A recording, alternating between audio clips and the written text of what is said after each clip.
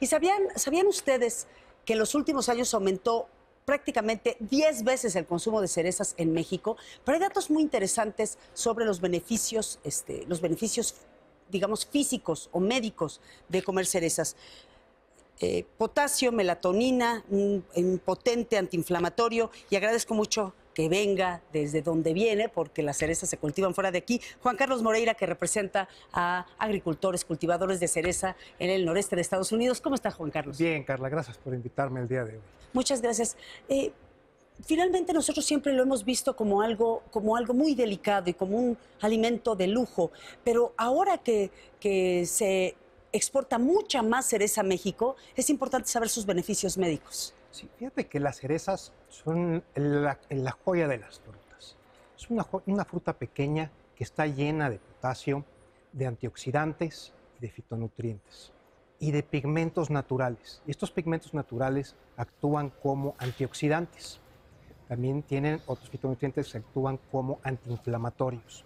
Y esto tiene una cobertura de paraguas para muchos procesos metabólicos que nos ayudan a prevenir muchas enfermedades. Ya hay mucha investigación de esto, se han hecho en universidades, en diferentes universidades, por las diferentes asociaciones de productores de cerezas. Y verdaderamente vemos que es un, un regalo maravilloso que está presente para nosotros en México durante el verano las cerezas únicamente las podemos tener durante el verano en nuestro país. Eh, por ejemplo, cuando vamos a, tenemos el privilegio de visitar países de Europa, sobre todo del norte de Europa, o Rusia, o Canadá, o Estados Unidos, hay mucha más oferta de cerezas, incluso se ven en la calle, en el metro. Platícame por qué es tan, tan delicado cultivarla y cómo fue que en el mundo se considera la joya de las frutas. Sí, mira, las, las cerezas se producen en latitudes muy altas, ya en el norte de Estados Unidos, donde el invierno es muy crudo y estas, estas plantas que son árboles de la familia de las rosáceas necesitan este invierno para poder florear en la primavera. Uh -huh. Entonces, en estos países nórdicos es un árbol que, norma, que se da con mucha facilidad, en, en contraste con, eh, con México. Entonces ya hay una cultura, la gente las consume de manera cotidiana. Y las espera. Nuestra principal um, barrera que hemos encontrado en México es que la gente no las conocía. Nos lleva, decíamos, esta es una cereza fresca y no la habían probado. Entonces, a lo largo de los años hemos, hemos hecho promoción para que la gente pruebe la fruta fresca, la cual es una explosión de sabor maravillosa. ¿sí? Y eh, a, la que, a, la cual casi todo mundo le gusta la, la cereza fresca. Oiga, a mí me da mucho gusto que usted me diga que llega al mercado mexicano pues un, un volumen de 230 mil cajas de cereza al año y también me da gusto que sea un mexicano el que representa a los agricultores. ¿Qué papel sí. tiene el, el, agricultor mexicano, el productor mexicano en, en el mercado de las cerezas en Estados Unidos? ¿Qué tanto se ocupa la mano de obra mexicana? Bueno, sí, por supuesto, el, en el caso de las frutas en el noroeste de Estados Unidos, toda la fruta se, se baja de los árboles con, a, con, a mano. Y la gran parte de la mano de obra eh, viene de familias y trabajadores que van a el noroeste de Estados Unidos a cosechar la fruta durante el verano. Hay programas de trabajadores que, que van y vienen y estas familias, eh, habrá alrededor de 40 mil mexicanos trabajando en esa, en esa zona.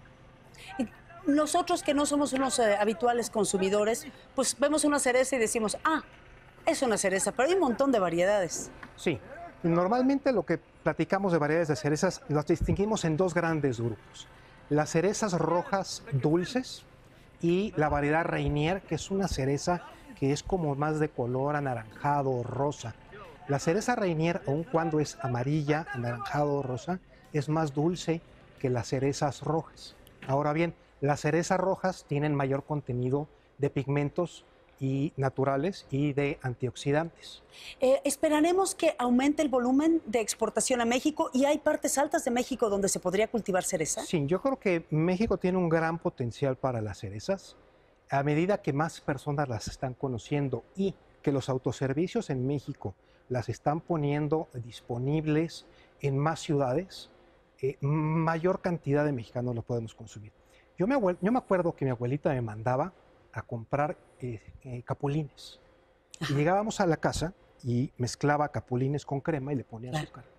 Y los capulines se daban en los caminos de los ranchos. Y es una cereza eh, silvestre. Y esa era la forma de consumir estos antioxidantes. Hoy día tenemos cerezas frescas, ya que ya se producen en cantidades mucho más grandes.